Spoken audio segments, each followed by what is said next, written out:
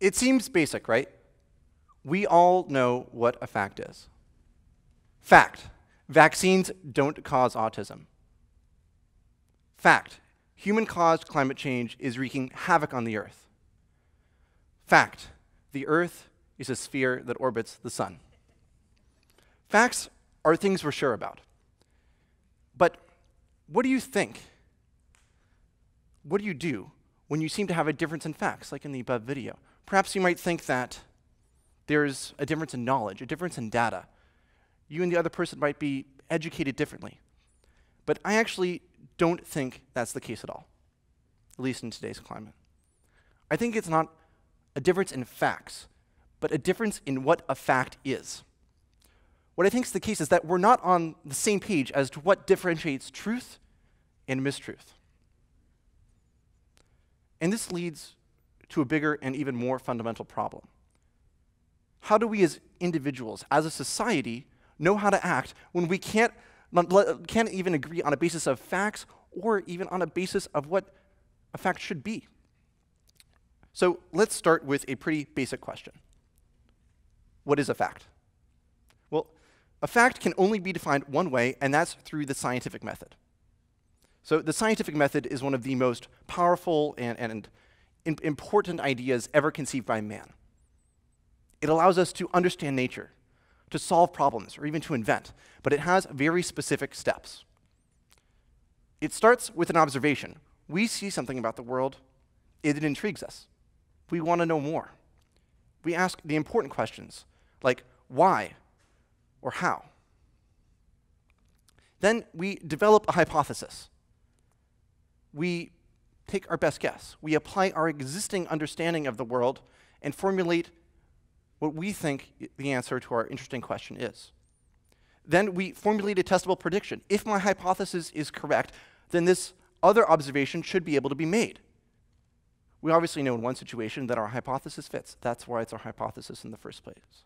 But we seek to change the conditions, question our assumptions, so that we can determine what the truth is. Then we conduct the experiment, which either accepts or rejects our hypothesis. Then, most importantly, we iterate. This is perhaps the most crucial, most crucial part. By iterating, we're able to advance our understanding. We take it further. We ask deeper questions. We ask different tests. Now, most importantly, we seek to push things, our hypotheses, our assumptions, our understandings, until we break them. Only then do we discover. Only then do we learn. Now, none of this is new to you. Every middle schooler in the country is taught the above.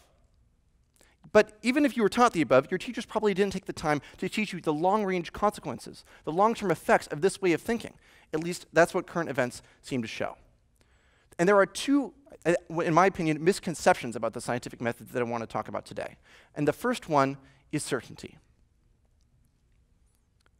The first thing it's important to understand about the scientific method is that nothing is certain. We keep on iterating on hypotheses, coming up with new tests until they break. The only time we can be certain is when the hypothesis is disproven. Until then, the hypothesis is not proven, but simply not yet disproven. And a theory is just a system of ideas that we think explains something. It's kind of our best guess. It's a hypothesis that we think is probably right, that we have confidence in. Scientists can say they believe in something with more or less certainty. They can say they're more, more or less confident. But if you ask a scientist if they're sure, if you ask a scientist if they're certain, they'll say no. Because if they're following the scientific method, they never will be. Fact the Earth orbits the Sun. I think this is something that hopefully we can all agree on. So, this is called the heliocentric theory. No emphasis on the word theory, saying that the correct model of the solar system is that all the planets orbit the Sun. But we didn't always used to think this way. We used to believe in geocentrism, which is that everything orbits the Earth.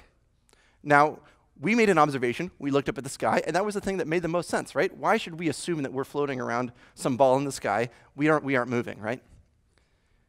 Now, we collected data and gathered more evidence um, to this theory. And in fact, when we had kind of conflicting evidence, we just modified the geocentric theory to make it still work. Now, this all changed when Nicolaus Copernicus uh, published on the revolutions of the celestial spheres, where he presented an alternate theory, the theory of gravitation and of heliocentrism. It was a mathematical model, really, not even observations, that was more simple and elegant and altogether more sensical. But we didn't believe heliocentrism until Galileo observed the moons of Jupiter. More specifically, he observed this the moons orbiting Jupiter itself. That was absolutely undeniable proof that there were bodies orbiting things that weren't Earth. We kept believing in geocentrism until we broke it beyond deniability.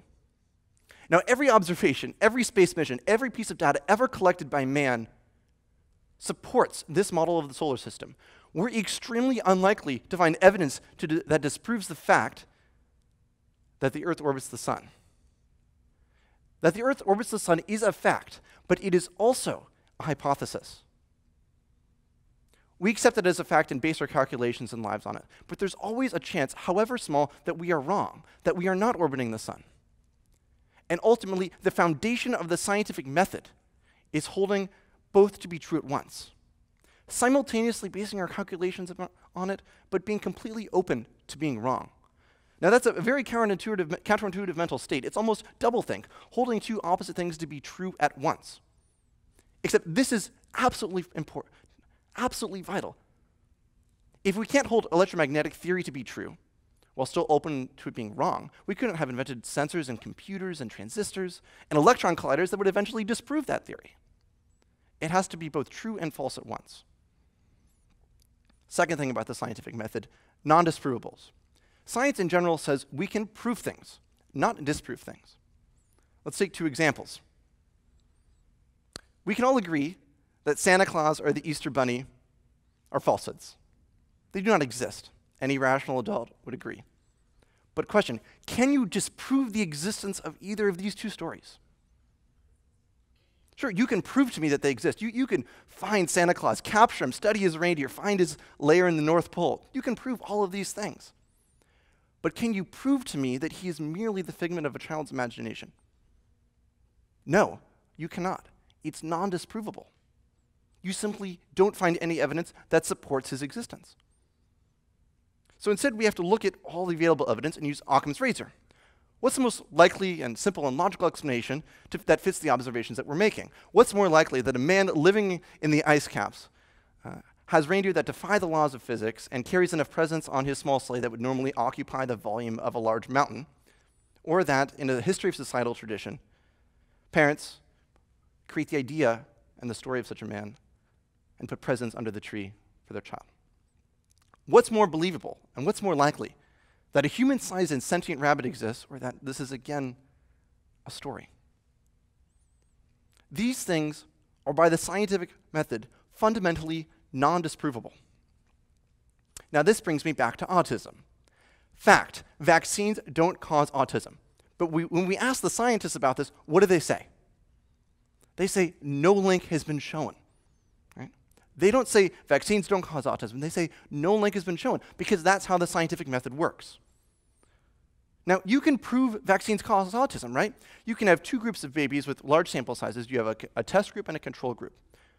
With the control group, you don't give them vaccines, and with the test group, you do give them vaccines. And then you follow these babies along their lives, and you see if one group is more or less likely to develop signs of autism. If you see a disproportionate uh, development of autism in the test group, you have proven vaccines cause autism. But how do you prove vaccines don't cause autism?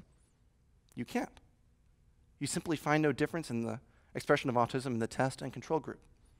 You simply show that there is no link proving that vaccines don't cause autism is just as impossible as proving that Santa Claus doesn't exist.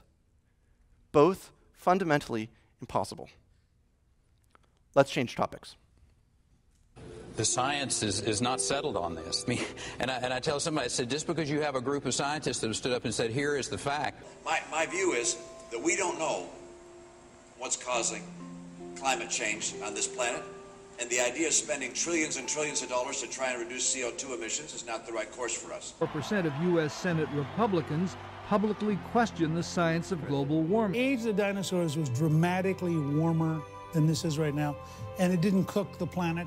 And in fact, life was fine. Are you convinced that climate change is man-made? Well, I, uh, look, I, I don't know that that is a resolved issue in science today. So what I'm hearing from this video is that we need to be certain about something before we act. But don't you see how this conflicts? We've just agreed that you can never be sure about anything. If the bar for action is this impossible standard, we never take action. We drown before we put on a life jacket. So what's the right way to decide whether or not to act? So it's actually an expected value equation shown here. It's the chance of something, something happening multiplied by the goodness of that happening minus the chance of some other event happening multiplied by the badness of that event happening. Applied to autism, X is vaccines functioning properly, Y is vaccines functioning improperly and causing autism. So putting some numbers to this, let's say there's a 1% chance that vaccines cause autism. It's not, but let's just say there is. So you have a 99% chance of good things happening. And in this case, like on a scale of 1 to 100, let's say you're saving millions of lives worldwide per year. Let's say that's a 80 on a scale of 1 to 100. Now, on the 1% chance that you, your kid does get autism, you know, that's really bad because it's your kid, even worse than millions of other kids dying. So let's put that at 100. So even in that case, it's a 78.2, right? And if it's greater than 50, we should act.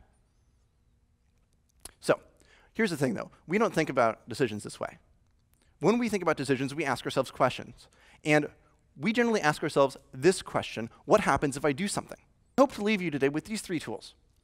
Because at the end of the day, the scientific method and these three ideas are what separates man from ape. It's what has allowed us in the past to get here, to invent, to progress, and to thrive. If we want a positive future, these three ideas are not optional, they are necessary. Let's hope we remember how we got here before it is too late. Thank you very much.